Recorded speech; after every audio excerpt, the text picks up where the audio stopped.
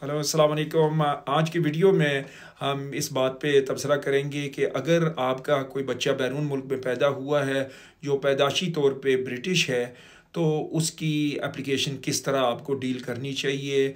आया British passport के लिए अप्लाई करना चाहिए, या कोई मुतबादल एप्लीकेशन भी है जो वो वो, उस बच्चे के लिए आप बना सकते हैं? पहले आपको ये बताता चलूँ कि हर बच्चा जिसके वालद या वालदा ब्रिटिश हैं वो अगर बैरून मुल्क में पैदा होता है तो वो ऑटोमेटिकली ब्रिटिश नहीं हो, होता।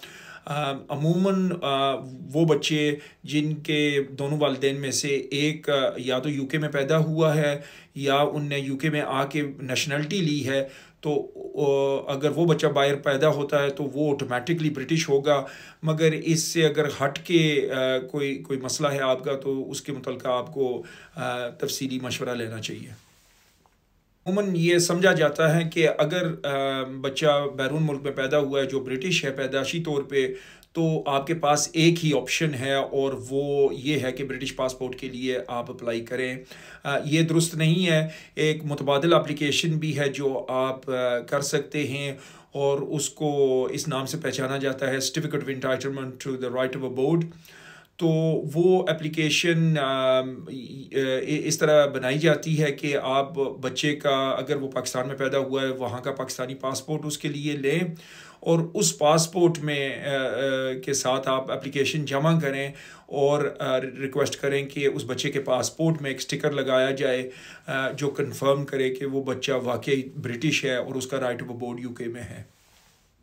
तो आपके जहन में ये सवाल उठता होगा कि अगर बच्चा ऑटोमेटिकली ब्रिटिश है तो उसके लिए ब्रिटिश पासपोर्ट क्यों ना हासिल किया जाए? और उसकी वजह ये है, और इसमें हमने बहुत सा काम किया है, और बहुत सी तहकीक और रिसर्च भी किया है, कि आम तौर पे ब्रिटिश पासपोर्ट एप्लीकेशंस बच्चों के लिए, जो पहले ब्रिटिश पासपोर्ट के लिए होती है, बैरून मुल्क में ख़ास तौर पे पाकिस्तान, इंडिया, बांग्लादेश में तो ये इन एप्लीकेशन में बहुत देर लगाई जाती है। अमूमन छः से बारह माह और आम तौर पे बारह माह के करीब करीब टाइम लगाया जाता है और वो आपको बहुत ही तंग करते हैं। बार बार जो है सेम डॉक्यूमेंट्स आपसे मांगते हैं और मैं समझता हूँ कि इस हद तक और जानबूझकर आपको तंग कर, किया जाता है कि ताकि आप इस एप्लीकेशन को छोड़ दें। तो जो मुतबाद एप्लीकेशन है सर्टिफिकेट ऑफ़ इंटाइटलमेंट की, वो एक बड़े स्मूथ तरीके से प्रोसेस की जाती है और आम तौर पे वो एप्लीकेशंस जो हैं तकरीबन एक माह के अंदर अंदर वो मुकम्मल की जाती हैं। और उसमें यही तो ख़ासा फ़ायदा है कि बहुत बहुत जल्दी एप्लीकेशन प्रोसेस हो जाती है। अलबत्त ये है कि उसकी फ़ीस जो है, वो उससे ज़्यादा है। पासपोर्ट की एप्लीकेशन फ़ीस जो है तकरीबन एक सौ पाउंड है बैरून मुल्क से अगर अप्लाई किया जाए, और ये सर्टिफिकेट ऑफ़ इंटाइटलमेंट की जो एप्लीकेशन फ़ीस है, वो तकरीबन पाँच सौ पाउंड के लगभग है।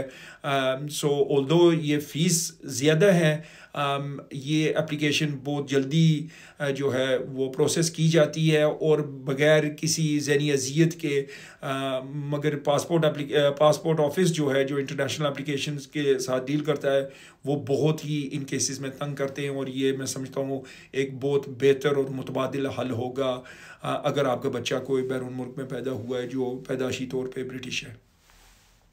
ये भी आपको बताता चलूँ कि जो रिक्वायरमेंट्स हैं ब्रिटिश पासपोर्ट के लिए और जो सर्टिफिकेट इंटाइटलमेंट की रिक्वायरमेंट्स वो बिल्कुल एक एक एक जैसी है। उसमें कोई फ़र्क नहीं है और जो डॉक्यूमेंट्स भी आपको देनी पड़ती हैं वो भी सेम है। मगर अजीब है कि वो जो इंटरनेशनल पासपोर्ट ऑफ़िस है वो एप्लीकेंट्स को बहुत ही तंग करते हैं। मगर जो जो जो सर्टिफिकेट ऑफ़ इंटाइटलमेंट का प्रोसेस है। ये बहुत आसान है और बहुत बेहतर है। सो डॉक्यूमेंटेशन के लिहाज से आपको बच्चे का पास बर्थ सर्टिफिकेट प्रोवाइड करना पड़ेगा। पेरेंट्स का मैरिज सर्टिफिकेट पेरेंट्स के पासपोर्ट्स की कॉपी स्पेशली जो ब्रिटिश पेरेंट है। और अगर ब्रिटिश पेरेंट की पैदाश यूके में हुई है तो उनका बर्थ सर्टिफिकेट भी प्रोवाइड करना पड़ेगा और उनकी अगर यहाँ नेशनलिटी हुई है तो उसकी कॉपी साथ लगानी पड़ेगी। और ये सर्टिफिकेट ऑफ़ इंटाइटलमेंट एप्लीकेशन जो है ज़्यादा मुफीद उन केसेस में स्पेशली होती है कि अगर आप अपनी वाइफ के लिए वीज़ा एप्लीकेशन साथ साथ जमा करवा करवा रहे हैं, क्योंकि स्पाउस अप्लीकेशन जो हैं, अमूमन दो तीन महीनों में प्रोसेस हो जाती हैं। अगर आप फास्ट ट्रैक करना चाहें तो वो तकरीबन एक माह में भी हो जाती है। तो अगर साथ बच्चे की पासपोर्ट एप्लीकेशन आप जमा करवा दें तो वो अगर छः माह साल लगाएगी तो जब वाइफ का वीज़ा इशू हो जाएगा तो उन्हें तो तीन माह के अंदर अंदर सफ़र करना पड़ेगा और ये ख़ासी मुश्किल का सामना आपको करना पड़ेगा कि बच्चा साथ उस वक्त ट्रैवल नहीं कर सकेगा। और इसी वजह से अगर वो सर्टिफिकेट ऑफ़ इंटाइटलमेंट की एप्लीकेशन की जाए तो वो अमूमन एक माह में प्रोसेस की जाती है और वो आम तौर पे स्पाउस एप्लीकेशन से पहले उसका फ़ैसला आ जाएगा और दोनों माँ बच्चा जो है अगट्ठे यूके में आ सकेंगे।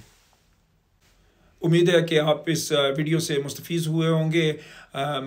और मैं गुजारिश करूँगा कि आप इस वीडियो को शेयर और लाइक करें।